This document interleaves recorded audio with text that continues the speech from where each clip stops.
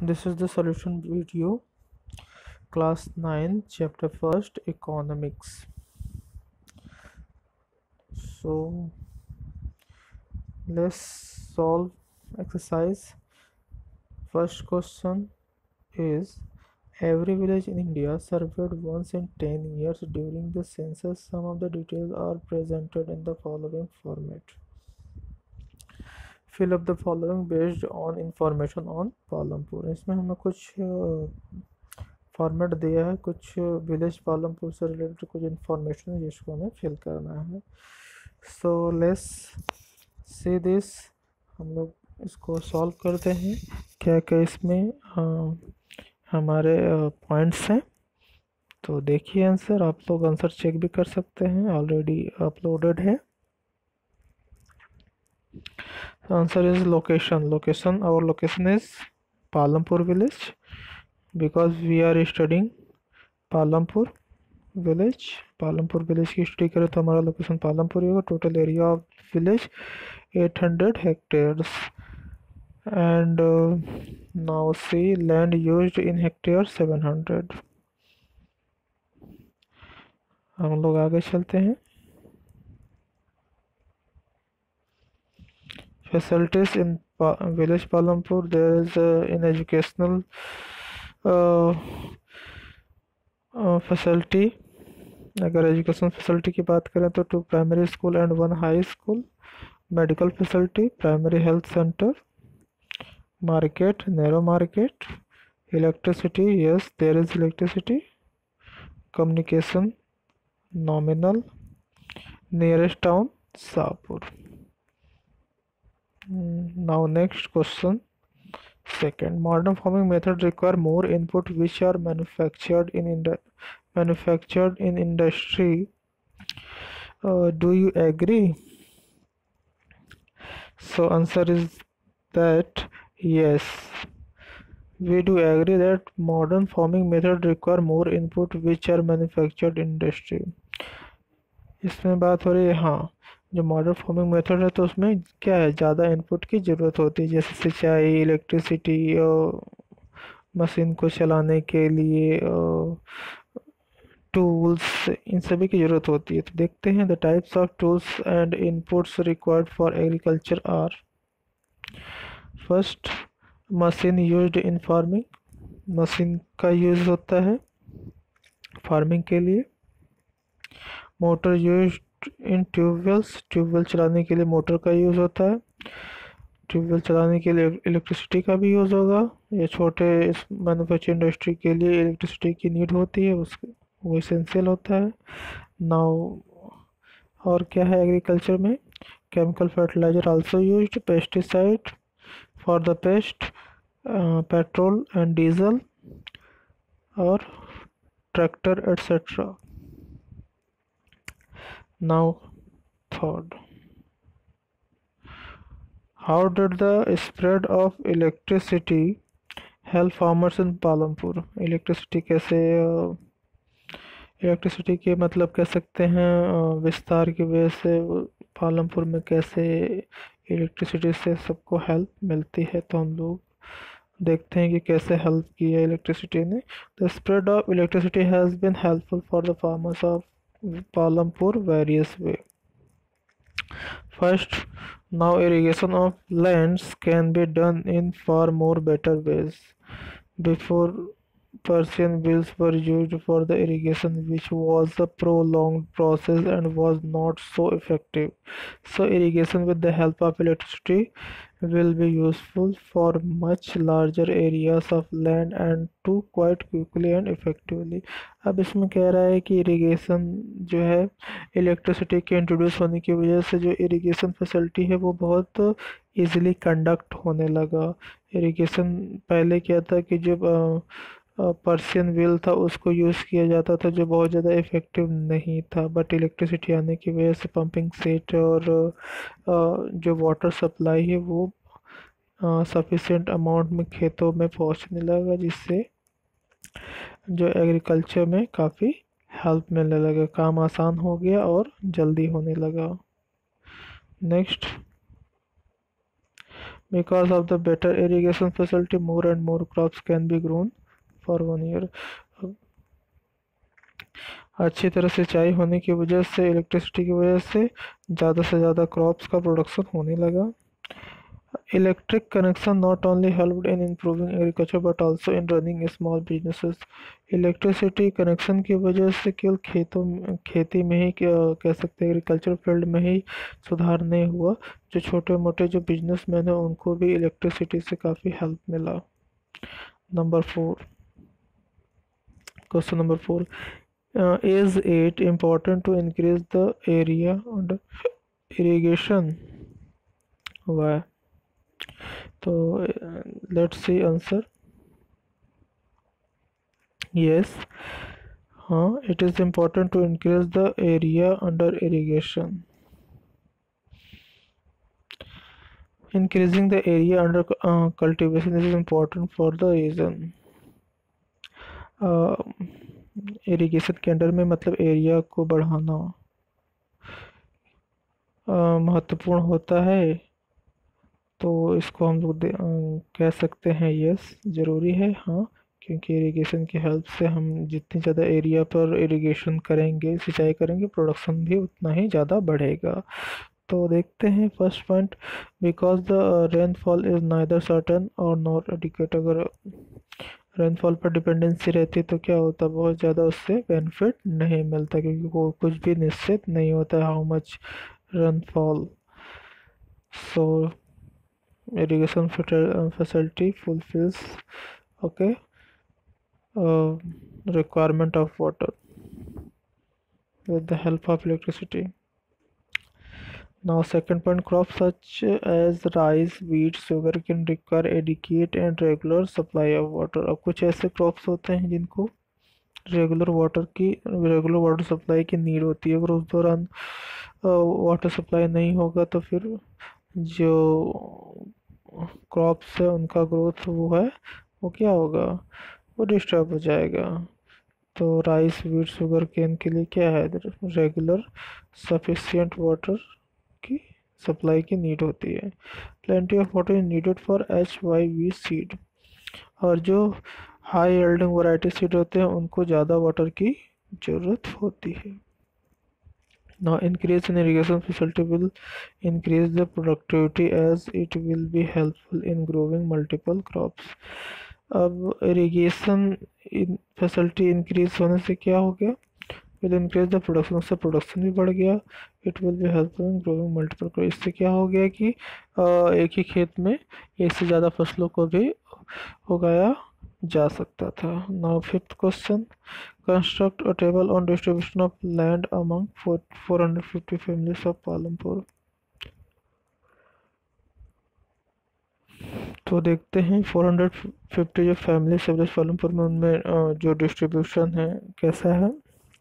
Number of families, area of land. अब families के पास कितनी लैंड है देखते हैं हम लोग। One hundred fifty landless. मतलब विलेज पालमपुर में वन हंड्रेड फिफ्टी फैमिलीज़ ऐसी हैं जो लैंडलेस हैं। इसमें एस टी एस सी और लैंडलेस लेबर आ जाएँगे। Now two hundred forty families जो हैं, less than two hectare, two hundred forty families ऐसी जिनके पास लैंड तो है बट टू हेक्टेयर से कम है 60 fam now next 60 family more than two hectare और 60 फैमिली ऐसे हैं जिनके पास टू हेक्टेयर से ज़्यादा लैंड है मतलब टू हेक्टेयर से लेकर फाइव हेक्टेयर टेन हेक्टेयर तक है। हम लोग आते हैं क्वेश्चन नंबर सिक्स पर। Why are the wages for farm labour in in Palampur less than minimum wages तो देखते हैं क्यों विलेज पालमपुर में जो मज़दूरों का वेजेस है या पारिश्रमिक जो उनको मिलता है वो कम क्यों है? मजदूरी कम क्यों है? तो डिस्कस करते हैं हम लोग। The wages of the farm labours are less than minimum wage because the land is fixed and population is increasing day by day which leads to increase in Palampur in labour force as more labor is available there is an apparent sense of competition apparent sense of competition among the laborers which leads to many of them accepting even the lowest if it guarantees them continued employment here is saying यहाँ पर ये बात है कि village Palampur में क्या है land area तो फिक्स है बट वहाँ पॉपुलेशन बढ़ रही पॉपुलेशन बढ़ रही है। तो जिससे क्या है, जो मज़दूर हैं, उनको जो कह सकते हैं वर्क करने के लिए जो काम है, उनको नहीं मिल पा रहा है।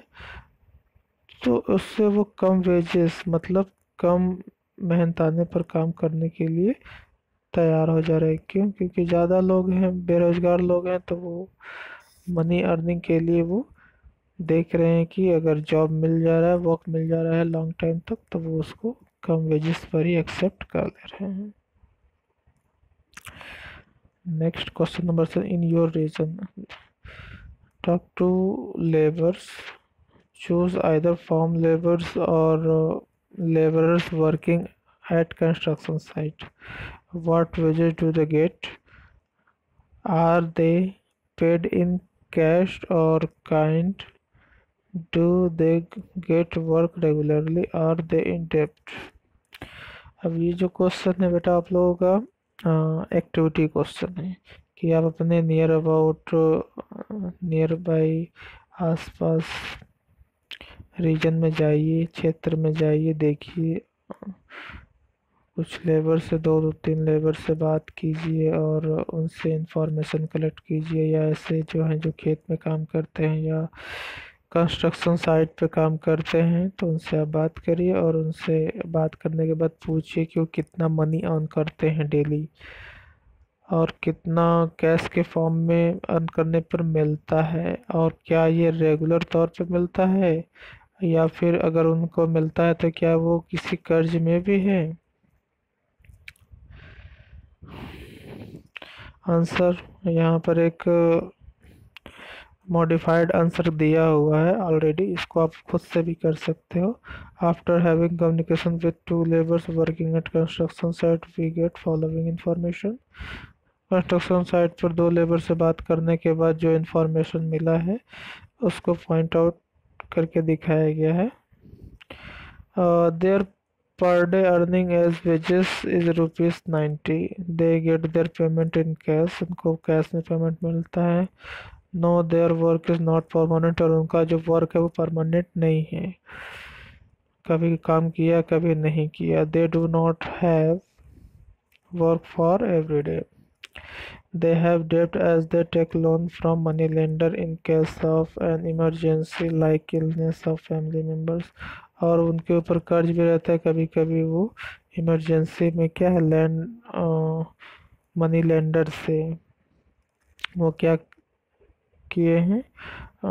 घर पर कोई बीमार है, फैमिली मेंबर कोई बीमार है तो उनके ट्रीटमेंट के लिए उन्होंने क्या किया है, मनी लोन लिया हुआ है। now next question number 8 what are the different ways of increasing production on the same piece of land? Uh, example to explain uh, कौन कौन से तरीके हैं जिससे क्या हो सकता है कि सेम पीस ऑफ़ लैंड पर प्रोडक्शन को बढ़ाया जा सकता है? तो आ, आ, उसको आपको क्या करना है? एक्सप्लेन करा। यूज़ एग्ज़ाम्पल टू एक्सप्लेन आपको एग्ज़ाम्पल देकर एक्सप्लेन करना है कि how to how you can increase the production of production of crops same piece of land so answer is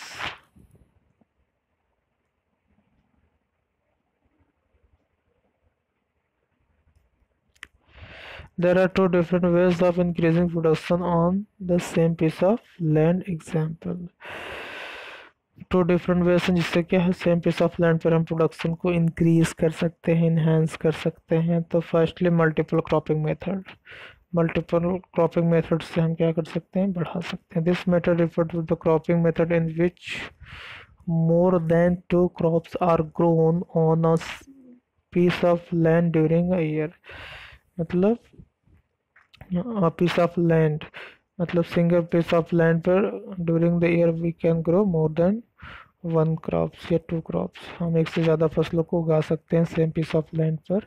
This is the most common way of raising production इससे हम production को बढ़ा भी सकते हैं. This method of cropping is possible if there are good facility for irrigation are available और इसको possible कैसे किया जा सकता है? मल्टीपल क्रॉपिंग को with the help of irrigational sorry irrigation facility और ज़्यादातर गाँव में ऐसा किया भी जाता है कि किसान जो होते हैं खेत में एक से ज़्यादा फ़सलों को या दो से ज़्यादा फ़सलों को भी बोते हैं और उसका अच्छा खासा क्या कर सकते हैं, उपज भी लेते हैं। जैसे गेहूँ के साथ वीट के साथ, सरसों बो दिया, थोड़े से पाट पर चना भी बो दिया, ऐसे। तो उन्हें काफ़ी बेनिफिट्स मिल जाते हैं इसके।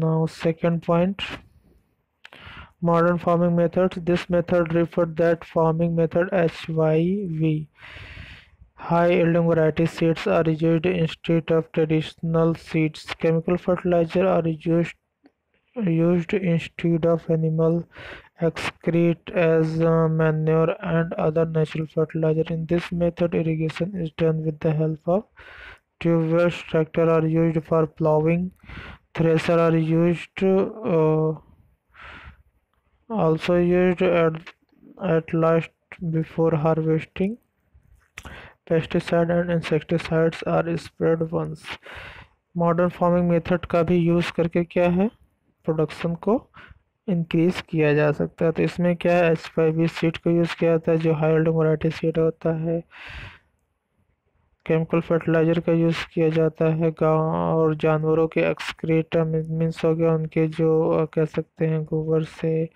जो खाद बने रहते हैं और अदर जो नेचुरल फर्टिलाइज़र होते हैं उनका यूज़ किया जाता है।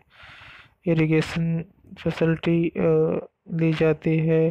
ट्रैक्टर का यूज़ किया जाता है, जुताई के लिए थ्रेसर का यूज़ किया जाता है, दवाई के लिए या कटाई के लिए जो भी है। और पेस्टिसाइड इंसेक्टिसाइड को भी का भी छिड़काव किया जाता है ताकि फ़सल खराब ना हो और उपज अच्छे मिले। तो ये थी चीज़ें। अब आते हैं question number nine describe the work of a farmer with one hectare of land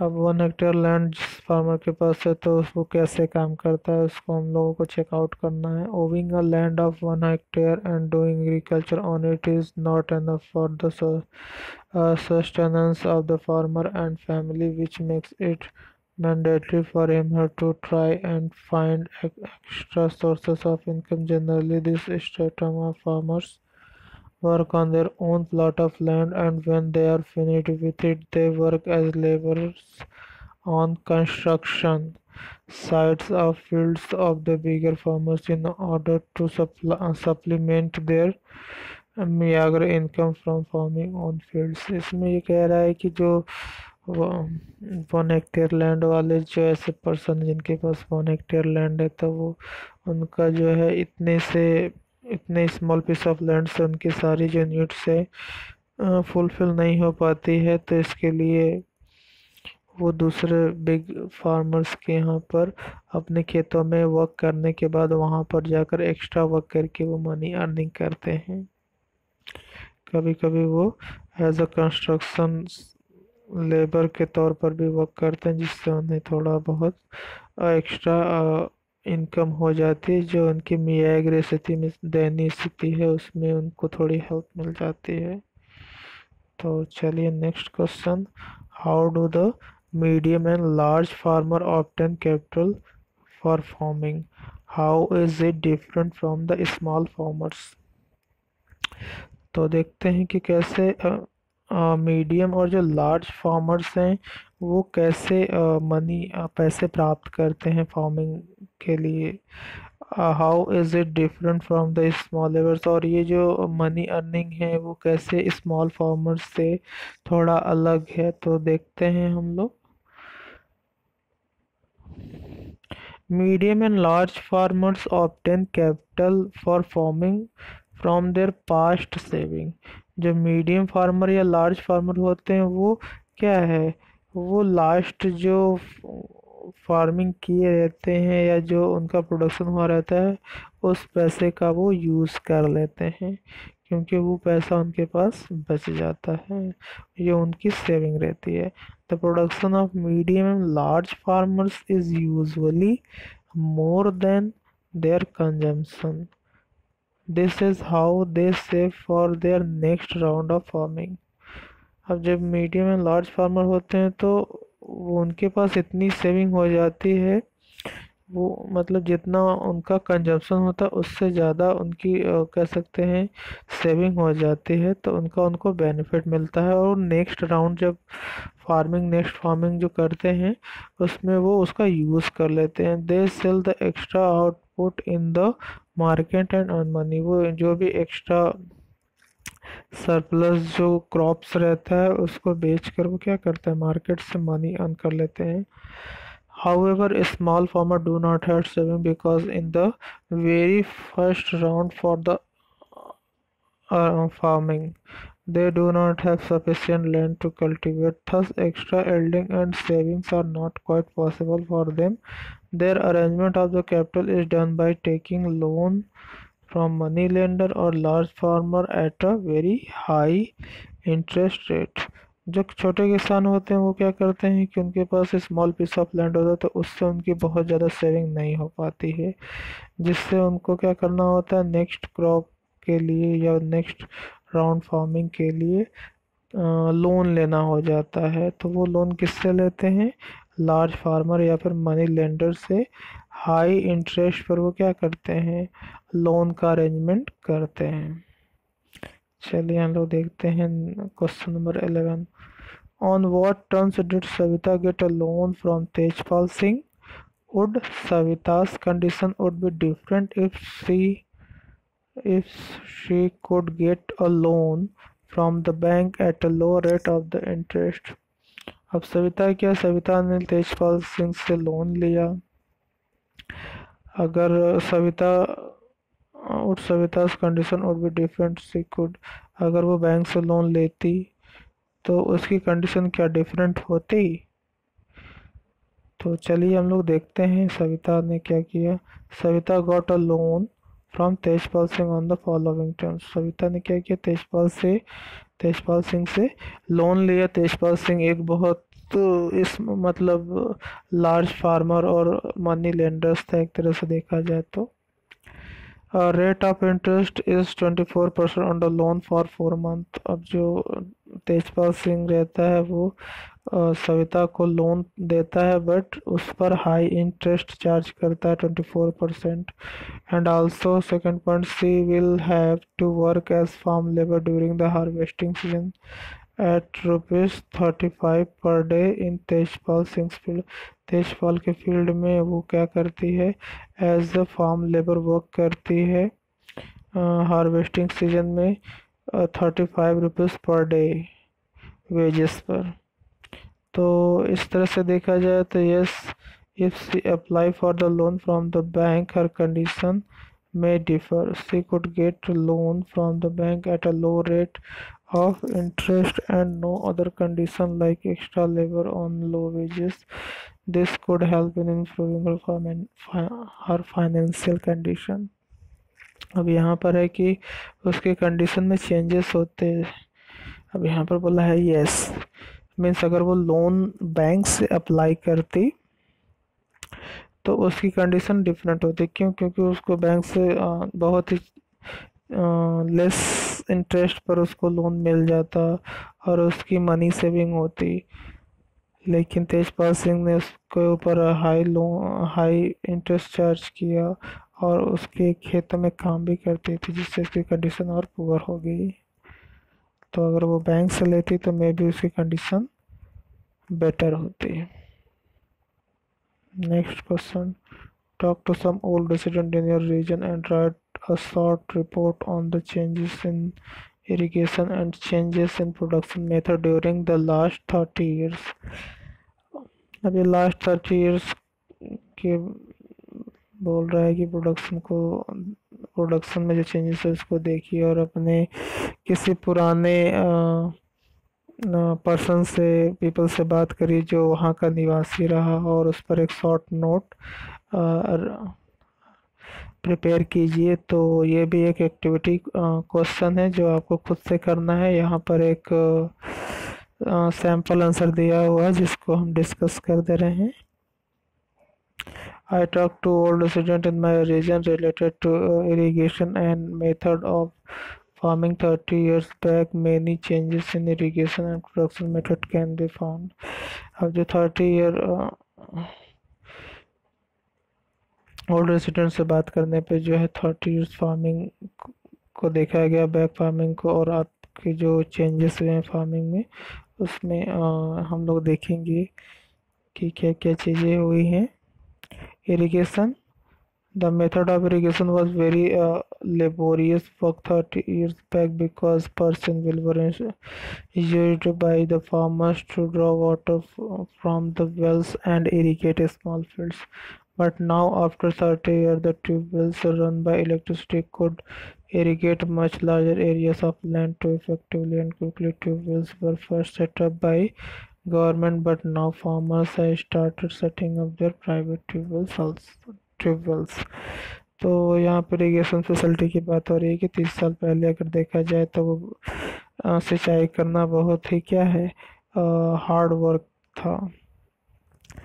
उसमें पर्शियन व्हील वगैरह थे, जिसकी वजह से क्या थे, बहुत ज़्यादा मेहनत लगता था और पानी को निकालना इरिगेशन करने के लिए उसको खेतों में डालना काफ़ी कह सकते हैं टाइम टेकिंग और हार्ड वर्किंग था बट बाद में क्या हुआ?